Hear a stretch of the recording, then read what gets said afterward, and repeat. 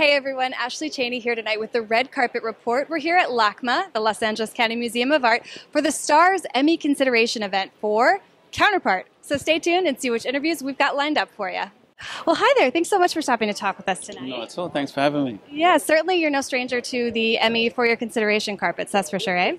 I've actually never been to one before. This is my very first. Oh, this is your very first. Well, I should rephrase that then. It's certainly not your first time working on a show that's Emmy nominated. Uh, no.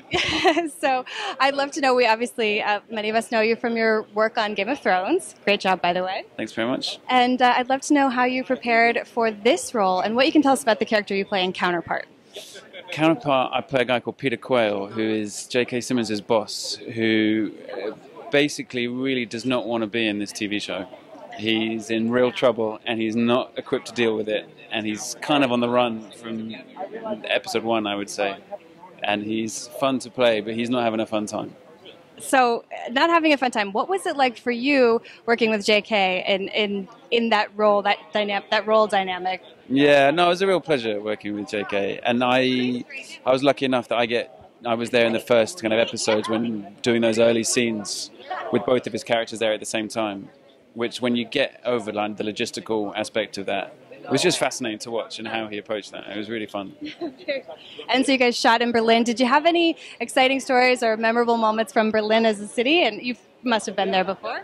I I'd been to Berlin once before, and I stayed in a very strange fraternity when I was 18 on a on a winter where it was so cold we could barely leave the house, and there were people like fencing in the attic.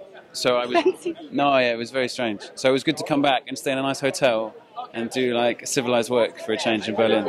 That seems to be the theme. Everybody talks about how cold it was, and it seems fitting with the show, right? Because it's sort of a cold and austere environment and world. Yeah, yeah. Well, actually, the first day of shooting season two, which we're about halfway through now, was in Berlin. I was doing a scene with Richard Schiff.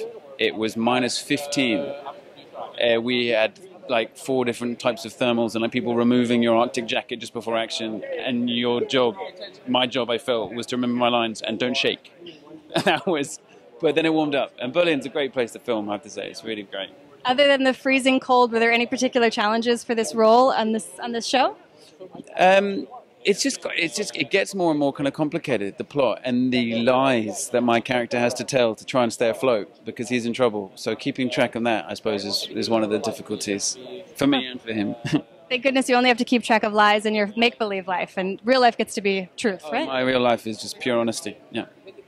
Well, thank you so much for talking with us, and congratulations on this evening. Thank you.